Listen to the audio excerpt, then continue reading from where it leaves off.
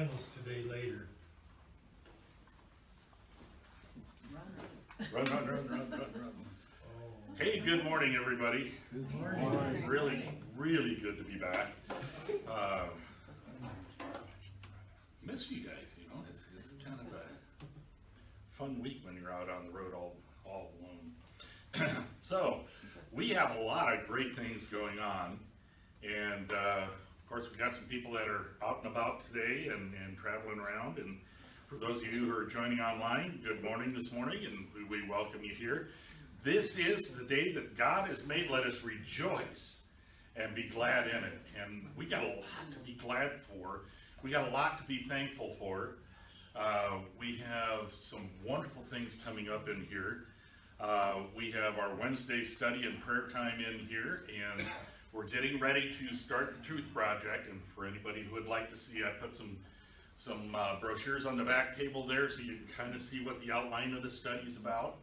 Um, it's a 12 session study, it's 12 different lessons, which will have a DVD and then we have a study guide. So I put the study guide in the back back there so people can take a look through that as well. But it covers a lot of different things in here. It talks about what veritology is, and veritology is the study of truth. Um, veritas in Greek is the word truth. And so veritology talks about truth. Uh, lesson two is on philosophy and ethics. Lesson three, anthropology, who is man. Lesson number four, theology, who is God. Uh, lesson five, parts one and two, there's two different parts to that. Science, what is true? And lesson six is whose story is it in history? And sociology is lesson seven, the divine imprint. Lesson eight is on uh, unio mystica. Am I alone? Am I the only one in the world? Um, lesson number nine, the state. Whose law? Uh, lesson number 10, the American experiment, stepping stones. Lesson 11, labor created to create things. And lesson number 12 is community involvement. God cares, do I? And so we got a lot of neat topics over a, a wide variety, a wide range of things. We're going to be starting that on May 4th. And we have a nifty, nifty sign up sheet in here. So I'll put that back on the back table back here for you guys. And if you would like to sign up for the study guide materials, or Terry, if you want to pass that around, go ahead. I'm gonna pass it around. You're gonna pass it around. I, I kind of figured as much. You had that look about you. So May fourth, we're gonna start the study on the Truth Project. And, uh, you know, I've mentioned it several times before, but it really is life-changing to go through this and understand all of the different things that come into play within our society and within a biblical worldview versus a world view. And so, um, everybody that I know of that has gone through it so far, uh, has really had life-changing experiences. And it, and it worked wonders for me as when I went through it as well. So May fourth, we're starting the Truth Project. May seventh, Grace Street Cinema is having our next movie called Breakthrough. There's tickets available over there on the table. Feel free to get some and pass it out. As always, the movie's free. We have free food that goes along with it. And, uh, of course, brownie bites and all the good things that come along with that, the popcorn, the hot dogs, and just have a really good uh, fellowship time together as well. May 14th, we are going to be having Orange Track Racing. Again, it just seems like we just had it, and here it is again, but it is wonderful. We had a great crowd last time around. Uh, lots of new people coming in, and we transformed this whole area in here into a four-lane raceway for Hot Wheels cars. And so it's a great thing for kids. Um, I, I think the youngest one that I remember having in here was three years old, and the oldest one was 87. So kids of any age are welcome to come in and join in. And so Orange Track, we look forward to that. And uh, if you have other things that you have coming up in here, please let us know. We are going to be planning a grand opening and kind of a picnic type thing coming up here for um, May. So we want to do it probably before the Memorial Day weekend. Uh, we're looking for input for that as well and what you kind of, kind of like to do in here and just kind of have a nice open house to kick off our new space in here. So we're, got a lot of fun things coming up in here. It's gonna be busy and I love it busy, so. Let's, uh, let's open up today our worship with a word to God, shall we? Let's invite the Holy Spirit in to join us. Gracious Lord and Heavenly Father, we just praise you and thank you for this opportunity to gather here together in your name.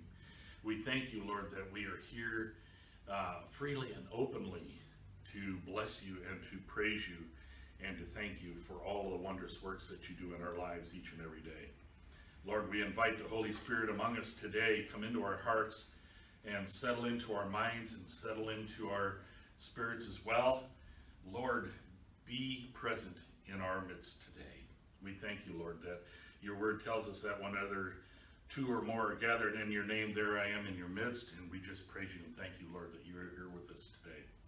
Lord, we ask that you would just open our hearts and our minds to hear your word, to hear what we need to hear, to take it forth and, and be your disciples into our community today.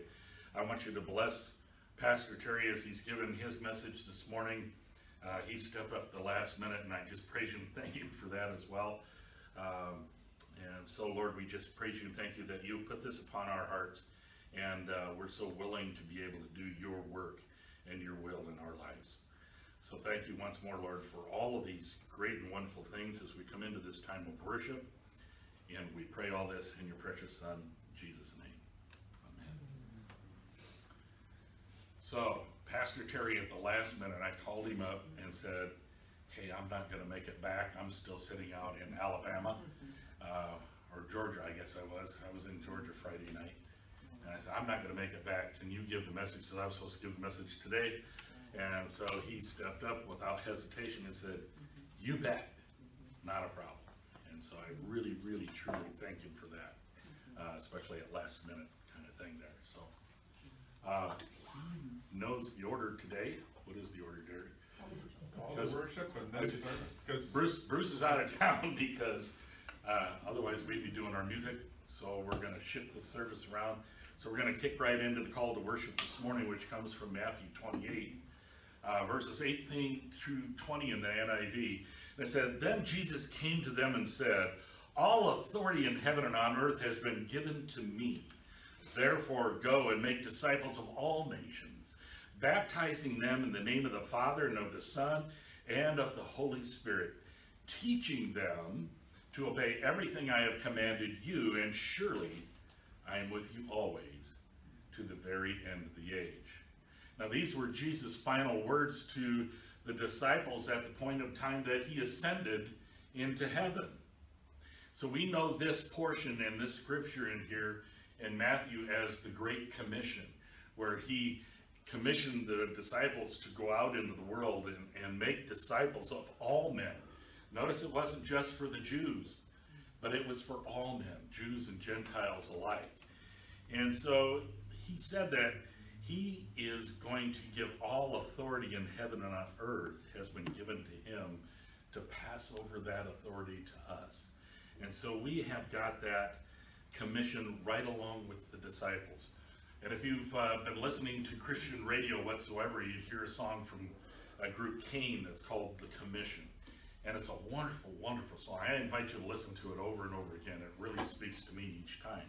But this is exactly the verse that it's taken from in Matthew 28. And so I ask you to kind of listen to the song and then try and go back there and listen to it again to get the full breadth of what they're asking. It speaks to us of our obligations as Christians to follow Jesus' words to the disciples, to go out and do instead of just being a disciple, instead of just being a student, instead of being just a follower. Now he's telling us, I have taught you all these things and I have given you this authority. Now go and do. You see, Jesus told the disciples to go forth and make disciples of all nations. And those same words that, that he gave to them then are as relevant today as they were then 2,000 years ago. It is our calling to be the hands and feet of God. I have taught you all these things. Now go and do. Lord, bless our time as we come into uh, Terry's message this morning and just put your blessing upon him as he gives that message. That the words that come from his, uh, his mouth today are echoing what you have put on his heart. And so we ask for those words to be put on our hearts today. Help us to receive those, open our ears to hear, and our minds to understand, and our hearts to accept, lives to live out your message, to go and do. In Jesus' name. Thank you, Mark. When I think about the, uh, the title of the sermon today, I'm, I'm reminded as, uh, when I was a kid, does anybody remember the, the animated shows, uh, this would be like, I don't know, seventies, eighties, Easter is and Christmas is? I can't find them anywhere. For some reason, they sit in my head and uh, they occupy space that I can't find information on. Uh, little snippets here and there, but not the whole things. Well, this morning we're going to talk about what discipleship is. We have just come off an amazing week, Holy Week, where we um, kicked off with Palm. Well, actually, we go all the way back to Ash Wednesday when we had our Ash Wednesday service, and through our Lenten studies into uh, Palm Sunday, then our Good Friday service, which was an extremely wonderful service, a very solemn service, and then uh, the celebration that we had last week on our Easter service. The next logical step is to talk about what all that means, and discipleship is what it's about. It's it's about what becoming disciples. So discipleship, by its very definition, is the state of being a disciple. So, to better understand what discipleship is, we need to find out what being a disciple means. So, let's talk about that a little bit this morning. Different people will answer this question in different ways. What being a disciple? What is a disciple? So, for being a disciple, it means doing a whole bunch of stuff for Jesus, right? It means we got to go to every worship service and we have to be at every single Bible study and we have to serve in every ministry that we can. Be at every event. Remember on, on Palm Sunday we talked about FOMO, fear of missing out, because you know, we got to be that super Christian. And then there's others, it's about being hardcore for their Christian faith. It's sharing their faith with everybody, whether they want to talk, hear from you or not. You just get right up in their face and tell them about it. You're handing out tracts or different things to everybody. You may be even like the guy that stands down in the street corner on uh, Farmer's Market, downtown Cedar Rapids, where he's standing on top of his amplifier or speaker there and he's just telling everybody about fire and brimstone. You turn or burn. Yeah, you should look at our Facebook page. The top picture, it, we, ch- I, it's been changed. It now says God is love. It's not these things that, that we see. But what do these two versions that we just talked about of being a disciple have in common? They're overboard. They are on, it's like Christianity overload. Or uh, you know, now the big thing is to put a plus sign after everything. So that's Christianity plus. Problem is, is these could not be further from the truth. Now, years ago, you may have heard a very familiar voice on what used to be KWOF saying a busy Christian isn't necessarily a good Christian. And the person who said that on air is mouthing the words with me as I said them. Mark was that voice. And that, all the things that I may have heard on that station over the years, that has stuck with me more than anything else. A busy Christian isn't necessarily a good Christian. So let's find out what we really need to be doing to become disciples and what discipleship really is. So, according to the Bible, being a Christian and being a disciple are the same thing. A disciple of Jesus is someone who follows Jesus and learns from him. They learn from the teacher. And it's someone who has a relationship with Jesus. It's also someone who has been changed by that relationship. Or, and someone who is absolutely committed to Christ's mission. See, disciples, as disciples, we are constantly learning the ways of Jesus. And we will continue to learn those ways our entire lives. One of the most basic definitions of discipleship comes from our call to worship this morning. Matthew 28, 18 and 20.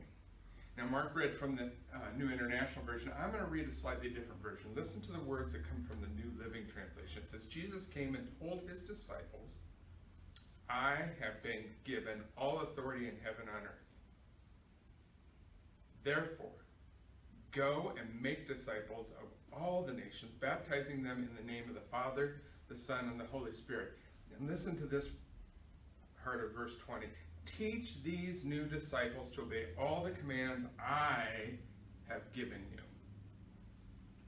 And then he concludes by saying, Be sure this, I am with you always, even to the end of the age. So what did Jesus tell us here? He says, Go. He didn't say sit, and, and there's a pastor that I, he said that I remember this from a sermon. I don't even remember what the rest of the sermon was about. But he said, Don't pew in the pews. In other words, don't just sit there and, and, and do nothing. Don't pew in the pews. And in going, we're doing it under whose authority? Our authority? No. Christ's authority, which God gave to him. This whole passage, this whole section, 18 and 20 through 20, it is an a really wonderful example, even though it doesn't say it's about the triune God. It's a very wonder, it's a great example of the three persons which make up God, Father, Son, Holy Spirit. Now he tells us, Jesus does, to make disciples and baptize them. Then what does he tell us to do? He says, teach. Don't just tell. Now you got to go teach. Because you need both. Jesus is telling us that discipleship is about learning. So we learn from the master, and then we go out and we teach. It centers on this being taught and becoming a teacher. Now, here's, here's I hear in everybody's head, no, I can't read your minds. This is just what I imagine what's going on in your head. But Pastor, I, I don't want to lead a Bible study. That's awkward for me. I can't do that. Well, here's the thing. Teaching happens in many, many different ways. It's not just about leading a Bible study, although it could be about leading a Bible study. But it may be that you sit down with your kids at night. And instead of watching TV, you sit down and you open up their the Bible that someone in the family got for them. Maybe it was you or, or the grandparents, aunt and uncle, and you read Bible stories with them. You start them learning at an early age. Or maybe it's you're teaching by example how you actually live your life, not what you profess in the sanctuary, in church on Sunday. It's what you do when you walk out the door. So when you live your life, are you teaching by example? It also might be, and it should be, and we'll talk about this a little bit later, praying with your family. There's teaching in there. In fact, we're going to talk about Jesus teaching us how to pray here in a little bit. We have to understand that we have to be on the right path in order to get started. And the only way to get on the right path is to go through the things or uh, pay attention and learn from the things that we're going to learn about this morning. And remembering that discipleship is not about going overboard, it's not about being overloaded, it's not about being too busy, it's not Christianity Plus. What it is, is it's for you, it's for me, and it's for everyone else to whom Jesus said, and follow me, and they said, yes. So, what is the goal of discipleship? Goals are extremely helpful in getting us where we want to be. You know, I have a goal at work. I've got this SMART goal. So I, I've got what I want to do, and it's measurable, and I can I can do all these things with it. And and I can I gave it to my boss, and she said, "Good job. All right, it's going to get me from here to here." Now, will it take two months or two years? I don't know. Patience. But it's going. It's helping me get where I want to be. And we talked about this morning. I don't know if Mark knew about that. That I was going to talk about this, but it's it's like roadmaps. Mark was talking about how Google was uh, giving him wrong times and stuff when he was trying to get back. Well, roadmaps are great, right? You remember using? Did anybody ever get out the big atlas? You know that giant thing, and um, maybe you were alone, so you had it on the seat next to you, and every so often you had to take that unscheduled or maybe even scheduled stop to pull over, look at it, okay, I'm here, and I need, okay, get there. Or maybe, and I was gonna see if I had one and I, I forgot, remember the, the maps that you get at the rest areas? And you fold them out, trying to look it. What a mess. Well, right after that, this is uh, 25, 30 years ago, so I had a laptop. This is this thing was this thick. I mean, it was huge. But I had this program on it. It was a mapping program. Now I didn't have internet with me, but it I could have it open in the seat, and it was different than the actual map. I- So I had that. Now, and I don't have it up here with me, but now I've got my cell phone. It's got mapping programs on it. It, you may be using uh, Google. You may be saying, "Hey Google." You may be asking Siri. You may be pulling. Maybe it's MapQuest. You guys remember MapQuest? It still exists. It still works. Or maybe you just have one of those little GPS units that you got suction cup to the window so you can see where you're going. But these are tools that help us to get from point A to point B. They tell us how to get where we're going. But they don't tell us why. All they do is say, you're going to go from here to here, and this is how you do it. They tell you how to but not the why of it.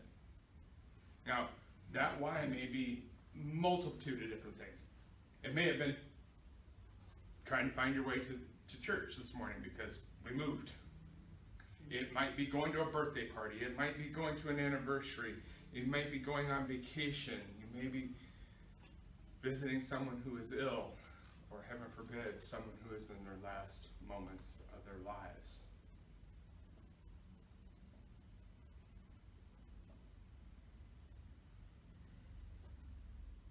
But this A to B attitude of way a map works, or these mapping programs work, is that is that how we're treating the activities and the ministries of the church? We just show up and we participate and we leave. Is that how we're doing that? Are we just along for the ride? Kind of like a lot of the people that were going to line the road that Jesus was riding in on as people were laying palms and garments down for him. Are we just along for the ride because we want to see what's going on? Here's the thing we need to ask why.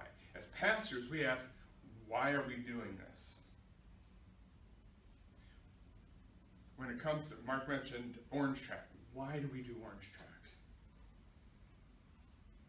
I've seen kids go from diapers. Actually, I saw some of them when they were still in mom's belly, and now I'm seeing those same kids as they're going into high school, as they're graduating high school, as they're graduating college. I've actually seen a young man who, through something we used to do in Orange Track, that guided him to one of the, the career he's ultimately in as a graphic designer. but I've also seen the spiritual side of those things. I've seen how that has affected them and how they have grown in the Lord. We don't spend a ton of time teaching and preaching. There's no sermon. There is a devotional. We try to keep that down. Instead of a four hour sermon, we try to keep that down to about an hour for them. No, oh, it's like five minutes. But it's something that they can learn on and, and take with them as they leave. The why matters.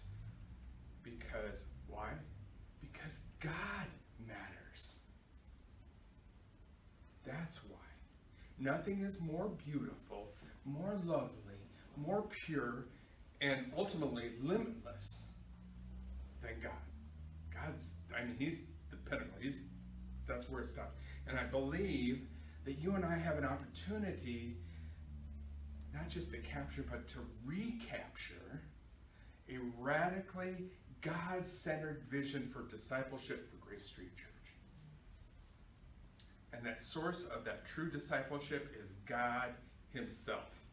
And the goal of true discipleship is God Himself. You see how it's all coming back to God? Fellowship with the triune God is where we are going, and fellowship with the triune God is how we are going to get there. And this is what God revealed to his people through the prophet Habakkuk. Chapter 2, verse 14 from the New International Version has Habakkuk writing this For the earth will be filled with the knowledge of the glory of the Lord. To stop right there. With the knowledge of the glory of the Lord. The earth will be filled with it. And, and he goes on to give an example of how great that is by saying, as the waters cover the sea. As the waters cover the sea. That's a lot of water. God is that amazing piece of this. Habakkuk wrote this in a time when God's people were questioning God's purposes in the world. What is God up to? What is God's goal? And the prophet answered in this chapter verse. And, and just to kind of put it in, in my own words, it says, One day the whole earth, every single part of it, will be filled with the knowledge of the glory of the Lord. We all want that to be today, but it's in God's timing. And as Christians, this is the vision that needs to be driving us. If this is the future of God's world, and it is, that his knowledge would cover all things, then it is our future. And if it is our future, we should know we must pursue it now. It's not something that we must do in the future, it's something we need to do right now. And that's the why behind the what and the how. That is the goal of discipleship. Now, discipleship is growing in the knowledge of the Bible as well. Who remembers the food pyramid from the 90s? Remember that? You know, um, now, if you're younger, you might remember that they changed that here, what, 10, 15 years ago to my plate. We're not going to talk about that because that, that just doesn't give the illustration anything. So let me break down what that food pyramid was. It had four different levels that were meant to communicate how much you needed to each of each type of food every day. The bottom level was grains. And if you're diabetic like some of us, you know, this is like you the one you got to stay away from because it's full of the carbs. But that bottom level was grains, bread, potatoes, cereals. They made up, get this, 40% of our daily intake. And above that was the fruits, fruits and veggies, which is about 35%. Then there was meat and dairy, which is 20%. And then you have the fats, the oils, and the sweets mm-hmm. at 5%. By today's standard, this pyramid is way, way out of date. And there's a reason it's not still being taught. Because ultimately it doesn't do us a lot of good to go by that. It's not very, it's not as healthy as they thought it was. But regardless, the idea behind the food pyramid was simple. It was a goal to show the non-negotiables of a healthy diet, right? So it answered the question, what is essential for a healthy life? Now we could ask the same question about discipleship. What is essential to deep discipleship? Now, so for the rest of this message, we're going to answer this multi-part question. What is essential to deep discipleship? The first answer is this guy, the Bible. This is number one. A disciple must grow in his or her knowledge of the scriptures. The Bible needs to be at the center of our Christian lives. The Bible is the very first thing in the Grace Street Church Statements of Beliefs. So on this next slide, I took a screenshot of our website, and because I know this is kind of small, I, I used my fun little skills and I blew it up and I put squares around it and lines to it so you can see it all.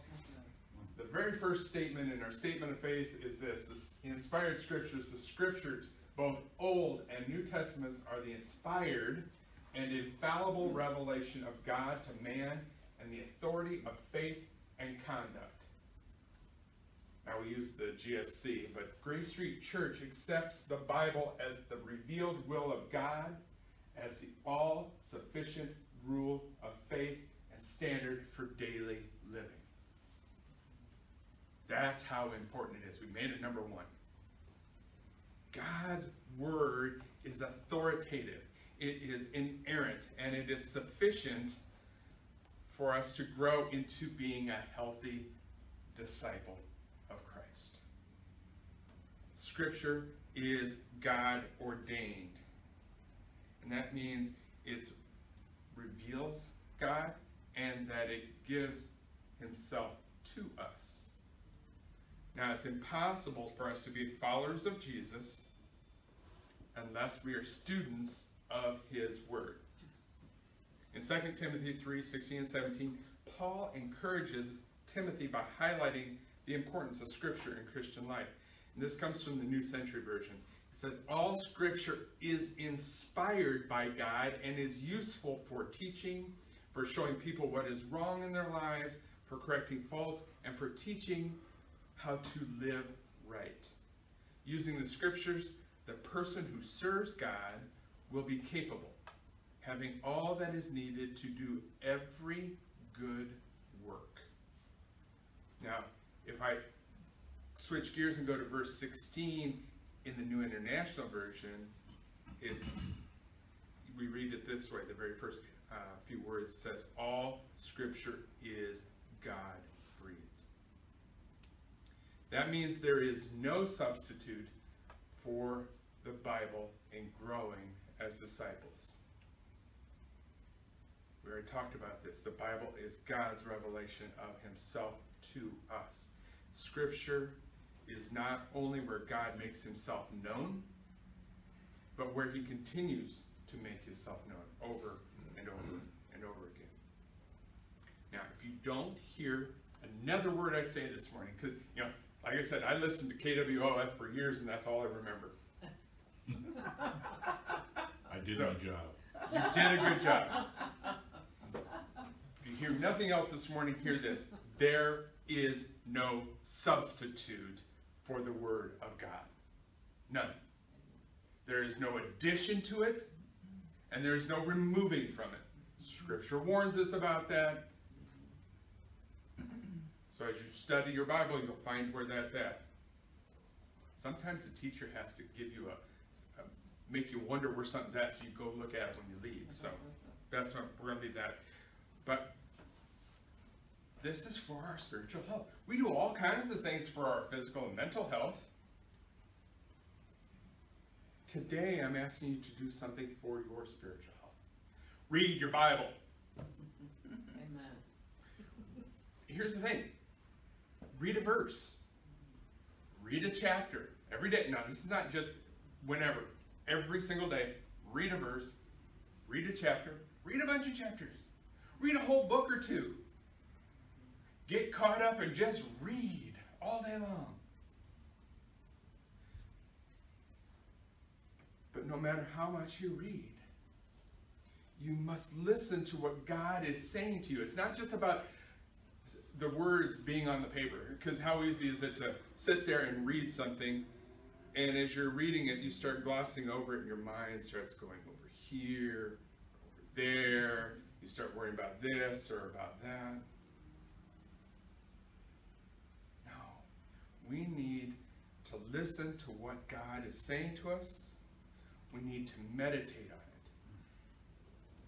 You're reading, and you're reading through a chapter, and all of a sudden you come across one verse, or maybe even just one sentence of that verse. And it might only be a few words.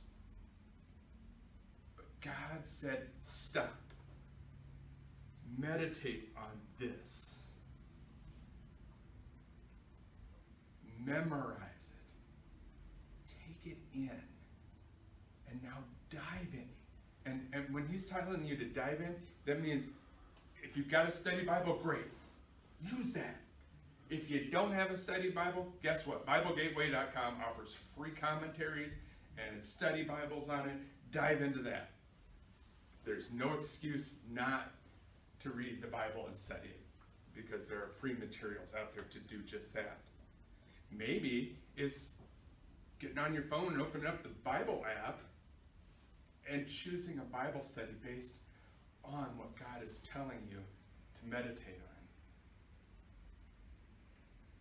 on. If you are serious about being a disciple, then you have to be committed to learning God's Word.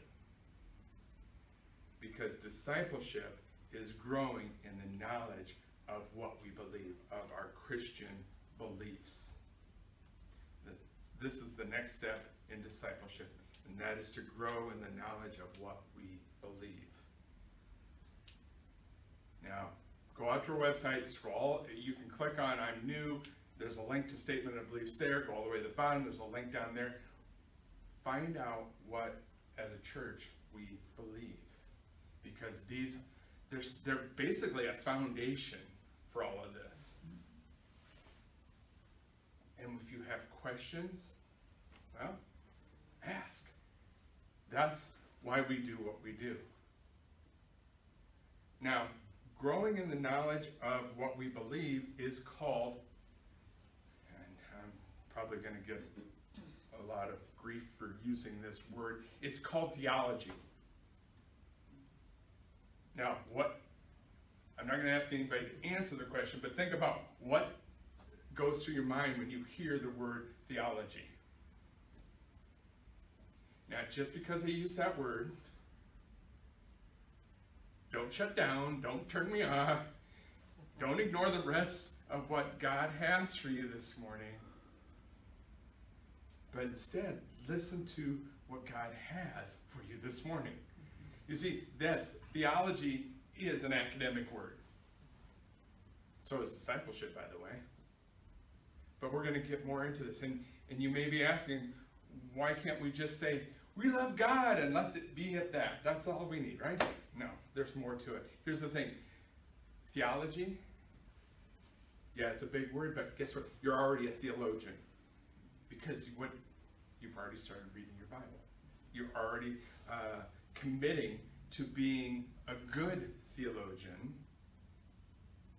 because, truth be told, it's the foundation Christian living. The term theology comes from two Greek words theos, which means God, and logos, meaning word.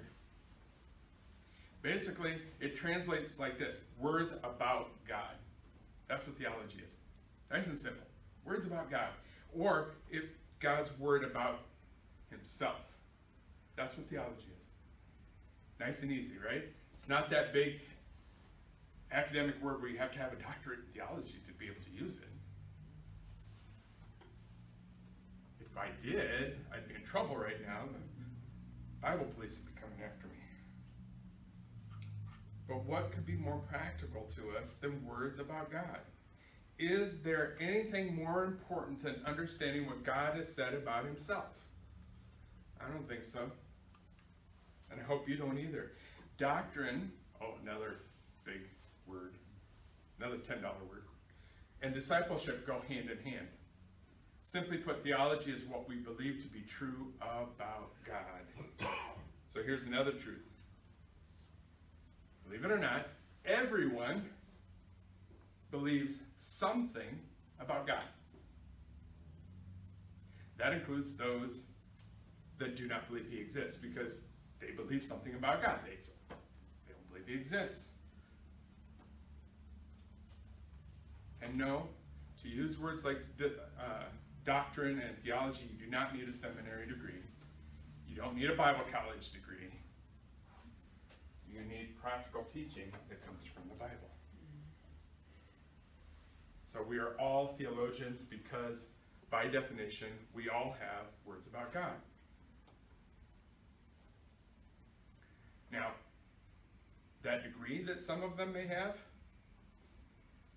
means they've been taught about God and how to think about God, but does it mean they have been taught by God how to think about God? It's a little twist on the words there. Are they taking man's teaching about God or are they taking God's teaching about himself? That's where the Bible comes in. And here's, an, here's a question for you as it comes to that, that. We're all being discipled. The question is, by whom? The world or by God? Good theology helps us to know who God is, who we are in Him, what the world is, and how we can be faithful disciples in the world that is out there. This is like, that's why they call this a sanctuary, because we are away from the world. Listen to what Paul says about this in his letter to the Colossians. This comes from chapter 1, verses 19 through 14. This is from the English Standard Version. And Paul writes, And so from the day we heard, we have not ceased to pray for you, asking that you may be filled with the knowledge of his will in all spiritual wisdom and understanding, so as to walk in a manny manner worthy of the Lord, fully pleasing to him, bearing fruit in every good work, and increasing in the knowledge of God, being strengthened with all power, according to his glorious might, for all endurance and patience with joy. With joy. Giving thanks to the Father, who has qualified you to share in the inheritance of the saints in light. He has delivered us from the domain of darkness and transferred us to the kingdom of his beloved Son, in whom we have redemption for the forgiveness of sins. Growing deeper as a disciple means we are increasingly filled with the knowledge of God.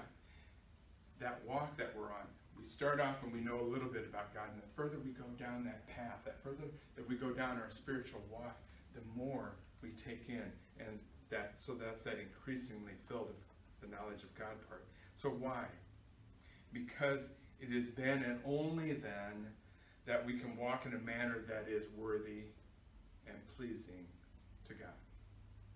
Knowledge of God leads to, leads to faithfulness, so we become faithful, but it also leads to fruitfulness. We cannot be fruitful and faithful to a God we don't know. That's why discipleship is also about growing in spiritual habits. This is the next crucial element of deeper discipleship. It's growing in spiritual habits or spiritual disciplines, as, as the, we'll call that the $5 word this morning. like theology, the word mm-hmm. disciplines might have a negative connotation. Because when you think of disciplines, all the first thing that came, comes to my mind is getting disciplined by my parents when you know I did something wrong, or God disciplining us. Well, here's the thing, that's not what disciplines are. So let's talk more about that. Let's change this whole way of thinking and talk about disciplines as habits, things that we do. Now, good or bad, we all have habits. And we are all formed by what we do. If you have a bad habit, that is going to form who you are. If you have good habits, that will also form who you are. I Saw a video online of a, of a young boy. I mean, he couldn't have been taller than this. And he's at the bus stop and he's got like six or eight girls that are at that bus stop with him. It's a good habit. You know what he did? So here's the bus and here's the door. And he stood like this while every single girl got on that bus before he turned and he went up the steps. Good habits, learning how to treat others with respect. So the habits we develop shape us into who we are and who we will become. So it's not only that we need to know doctrine, but we also need to learn how it can help us to live the way that God wants us to live. For our physical health, we need to do more than just work on our upper body. So you can go to the gym and you can work on your upper body strength, right? Or you can work on your lower body strength by um, sitting there and pushing weights with your feet or what have you. But if you do all upper body or all lower body, that kind of defeats the purpose. One part's going to be stronger than the other, right? It needs to all be done together. So that's what we need to think about as we're growing as disciples. We have to focus on more than just forming our minds through the scriptures.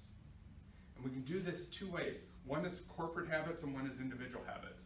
So corporate habits, let me explain what I mean by that because I'm not talking about a company. I'm not talking about, you know, where you go to work. I'm talking about corporate habits, things that we do together in community as a whole church or even as a small group like we do on Wednesday nights at Bible study. The most obvious habit that we all have is we gather together for worship. That also means that uh, that consistent weekly attendance is essential to being a healthy disciple. Other corporate habits include prayer, giving, or maybe even fasting. Prayer is something we do every time we come together as a church. Through church uh, worship service, we pray multiple times. On Wednesday night, we can sometimes spend anywhere from 20 minutes in prayer, depending on what we have for prayers, or we could spend 45 minutes to an hour. It's important to spend time in prayer. We do not shy from that or shun from that. Spiritual habits should also be part of our personal discipleship plan. So this should include developing habits from the first two categories of discipleship we already talked about. That's reading the scriptures and increasing our knowledge of those scriptures. Additionally, it needs to include developing habits when it comes to the things we do corporately, prayer, fasting, but it also includes giving, service, and even more. So here's a question for you. Are you intentionally, are you being intentional, excuse me, about developing your own spiritual habits? I recently switched from working my 10 to 6.30 to working 8 to 5 for three weeks so that I could work with a training group. That means in order to spend my time with God in the morning, I'm getting up at 6 instead of later because it's important to spend time with God. I'm being intentional about it. And then, besides that, the most central and essential spiritual habit we have is prayer. Like consistent Bible reading, nothing can replace a life of prayer. Jesus teaches us how to pray. The teacher teaches. We listen, we learn, and we go and we use that. Now, he says this when you pray, don't be like the hypocrites who love to pray publicly on street corners and in the synagogues. And this is from Matthew 6, where everyone can see them. I tell you the truth, that is all the reward they will ever get. But when you pray, go away by yourself. We saw a movie like this, mm-hmm. Prayer Room. If you haven't seen that movie, I, I highly recommend you getting it and watching it. Go away by yourself, shut the door behind you, and pray to your Father in private. Then your Father who sees everything will reward you. And when you pray, don't babble on and on as the Gentiles do, because, you know, when they're babbling, uh, when they're praying, they're babbling, they're doing it so that they can draw attention to themselves. It's not an actual discussion or that they're having with God. And they think that their prayers are being answered, Jesus says, merely by repeating their words again and again. Don't be like them. For your Father knows exactly what you need, even before you ask Him. Pray like this Our Father in heaven, may your name be kept holy. May your kingdom come soon. May your will be done on earth as it is in heaven. Give us today the food we need, and forgive us our sins as we for- have forgiven those who sin against us. And don't let us yield to temptation, but rescue us from the evil one.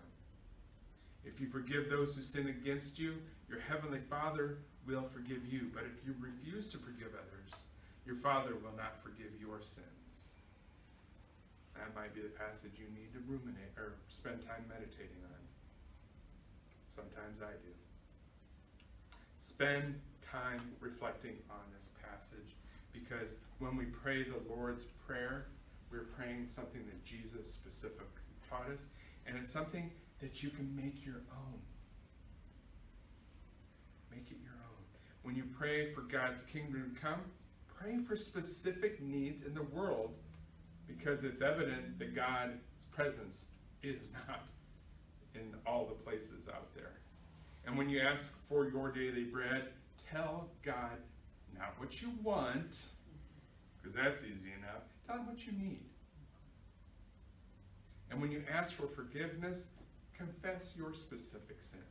Kind of like we, what we did uh, through the Easter services, where we had the cross up here, and everybody wrote the things that they wanted to be let go of, the sins they wanted to let go, and we nailed them to the cross.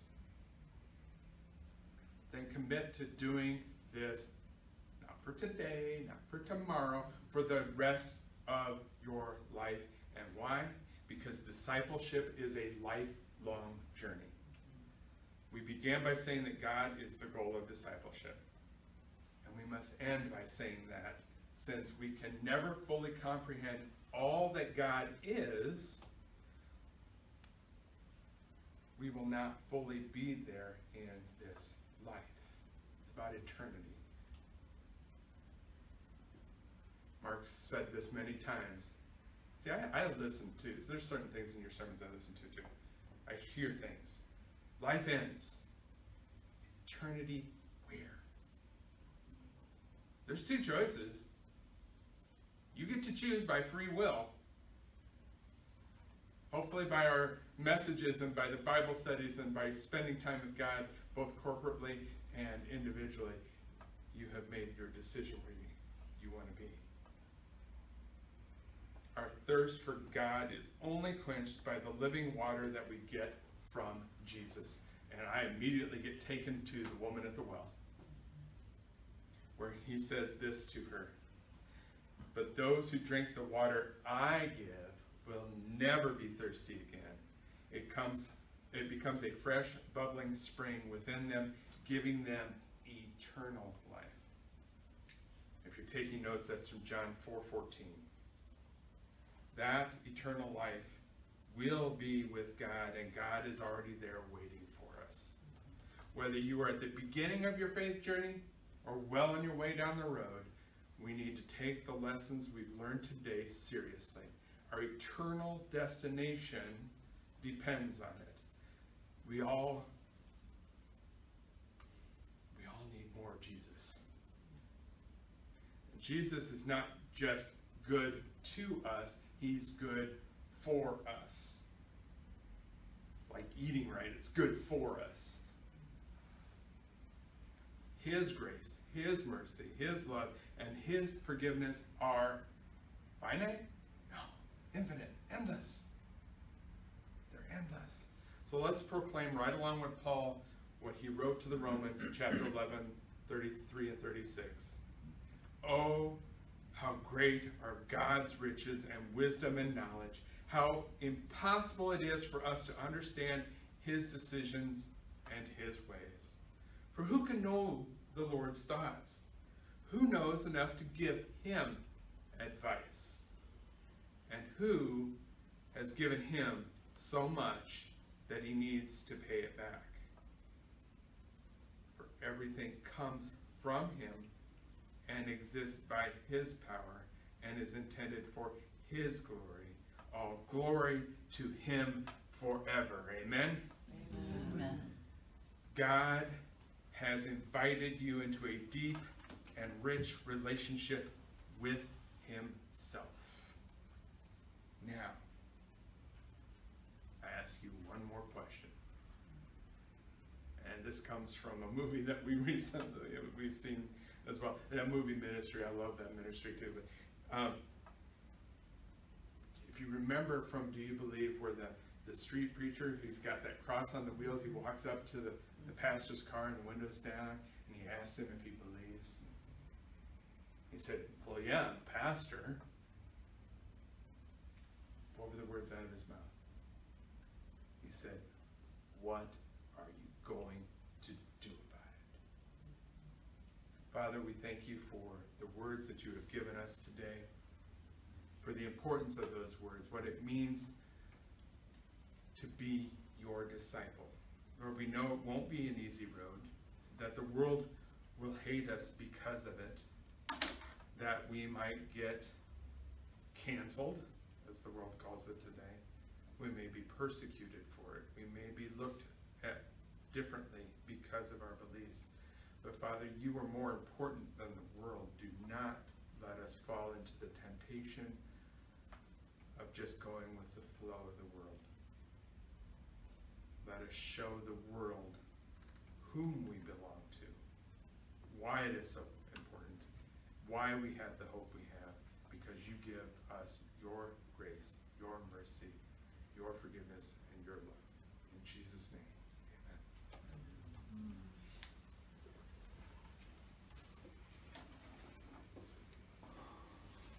Thank you, Pastor Terry. As we come into our time for communion this morning, um, I would like you to think back, and as we kind of think about being a disciple of Christ and, and what Jesus was teaching his disciples, I want you to think about that, because the first thing he said to them was, come follow me. And they didn't give a hundred excuses why they couldn't do it, but they followed him and they followed him and they learned from him and they watched and they saw and they learned from the things that he did. And then one of the final things that he said to them is, where I am going, you cannot come with me. He was going to the cross to give himself up for everyone. For everyone. He says, where I'm going, you cannot follow me. But I will come back and take you. See, the journey wasn't over. The- It didn't end on Easter. That wasn't the end. It wasn't final. He said, it is finished, but he never said, it was over. It was over, because it wasn't over. That was the beginning of the end. And so we have that to look forward to in our journey with Christ as we disciple ourselves through our life journey. We have that to look forward to that we have more. The life here on earth might be finished, but through Christ and what he did on the cross, we have more. We have more to come. And that was going to be my message for today, but it's going to be for next week instead. So tune in. So as we come into this time of communion today, let us reflect on that, that, you know, it is finished, but it's not over. Christ made a sacrifice of his life for us so that we could continue our journey on. It's not over. On the night that he was betrayed, he took bread and he broke it. He said, This is my body, which is broken for you. Take, eat. Later on in the meal, he took the cup, and after he filled it and he blessed it, he said, This cup is the new covenant, my blood shed for you and for many for the forgiveness of sins. And each time that you eat of this bread and drink of this cup, do it in remembrance of me. Remember his mighty act of salvation. Remember that it is finished, but it's not over. It's not as we come into this time today, we will share together in community as, as uh, Terry said, corporately we take communion together as an act for Christ, for what he has done for us. The body of Christ broken for you.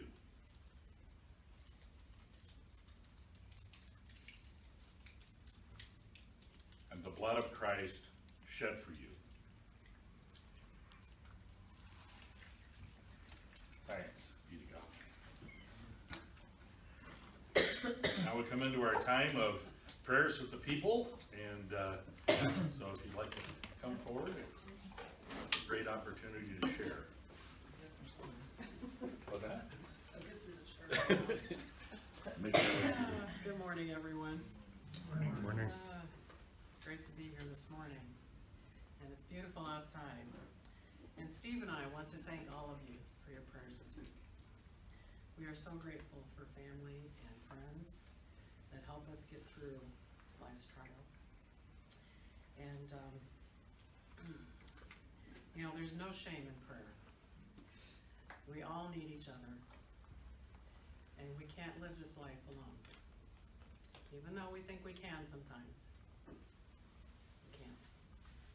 So, God made us human, and He made us all to reach out to one another and, and, you know, share our trials with each other so that we can get through each and every day. So I thank God for all of you, and I thank God that He made us the way we are. So with that, is there, is there any more that would like prayer today? Prayers for a coworker who, um, her grandfather is passing, and their, the family is here and things, and they're, Okay. it's, it's just Mhm.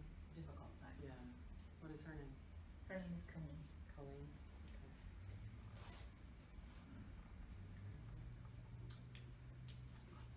Anything else? Like uh, prayers, and I have no idea who the individual was uh, that passed away in a car accident that I witnessed down in Florida this last week. Oh, my. Um, But it was, it was a very, very Mm. bad accident, and uh, that person passed away, so it was, um, we just don't know who, God knows who it is, but we just want to lift them up again today. Okay.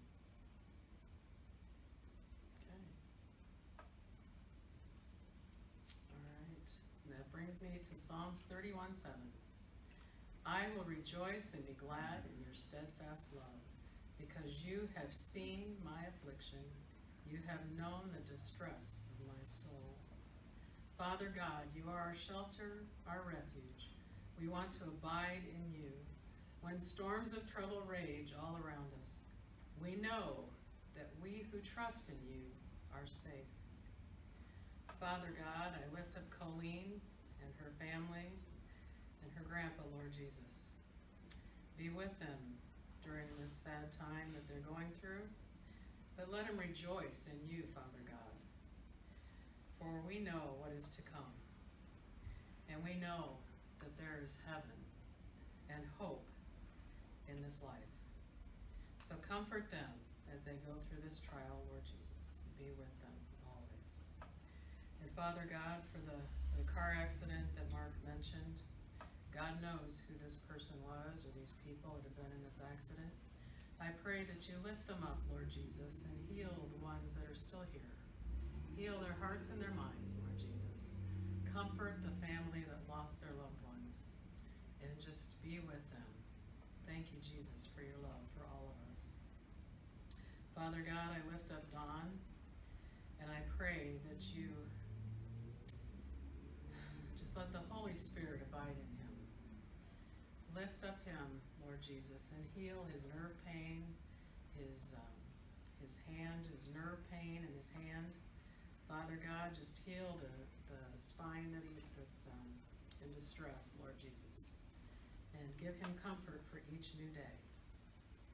I pray for protection and shelter and food for the homeless. Father God, comfort them in their trials. Be near to them, walk with them, help them to know they are loved and not alone. You are God, and there is nothing impossible for you. In Isaiah 43, 10 and 11, Before me no God was formed, nor will there be one after me. I, even I, am the Lord, and apart from me there is no Savior. Therefore we set our eyes on you, O God. We thank you for life and breath each new day. We praise your holy name. Thank you, Jesus, for walking on this earth, dying on the cross, and rising from the dead. And thank you for those of us that we can choose to be to believe in you, and we will be set free from sin and death. You are God, and there is no other. Thank you, Jesus, for who you are. We praise your holy name. Amen.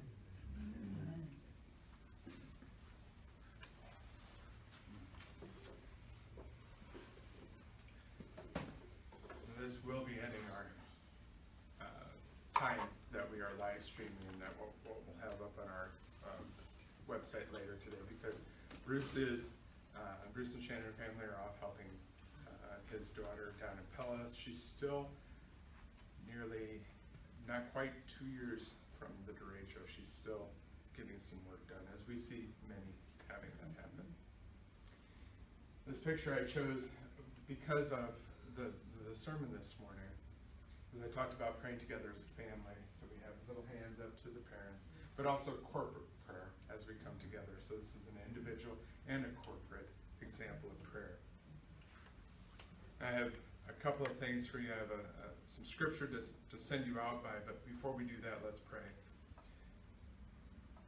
You and I are God's servants. We are gifted with His dreams and His visions. Upon each of us rests the grace of God like flames of fire.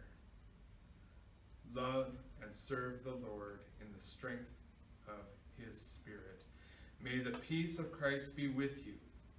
The strong arms of God sustain you, and the power of the Holy Spirit strengthen you in every way.